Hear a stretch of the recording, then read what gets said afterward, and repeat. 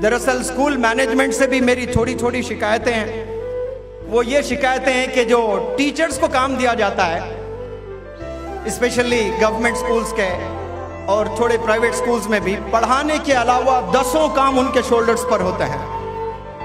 वो दसों काम गवर्नमेंट ऑफ़ इंडिया को दूसरों को अपॉइंट करके करवाना चाहिए। पोलियो ड्रॉप से टीचर जा रही, बोल रही है, नहीं, उसके लिए अलग अपॉइंट करें। टीचर का काम 24 फोर आवर्स बच्चों को लेकर ही सोचना है। एजुकेशन को लेकर ही सोचना है। रिसर्च करते जाना है एक एक इंडिविजुअल्स पे कि ये बच्चा क्यों नहीं पढ़ रहा है? ये बच्चा कहाँ प्रॉब्लम फेस कर रहा है?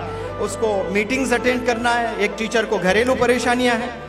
90 परसेंट टीचर्स तो फीमेल्स होते हैं। अग्री करते हैं कि नहीं करते हैं? अब वो 90 परसेंट जो फीमेल टीचर्स हैं, उसमें 50 परसेंट तो यंग टीचर्स होते हैं जो 25-30 साल के होते हैं। नई नई शादी होती है, सासू माँ को झेलना है बेचारी को, यहाँ के मैनेजमेंट को झेलना है, फिर उसके बाद पेरेंट्स आते हैं, मेरा बच्चा नहीं पढ़ रहा है पेरेंट्स को झेलना है।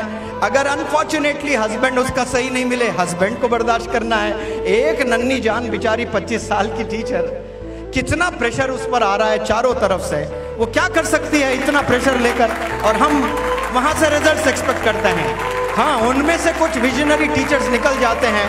ये तूफानों से भी लड़कर बच्चों के जिंदगियों को तब्दील करते हैं, बदलते हैं, ये अलग बात है।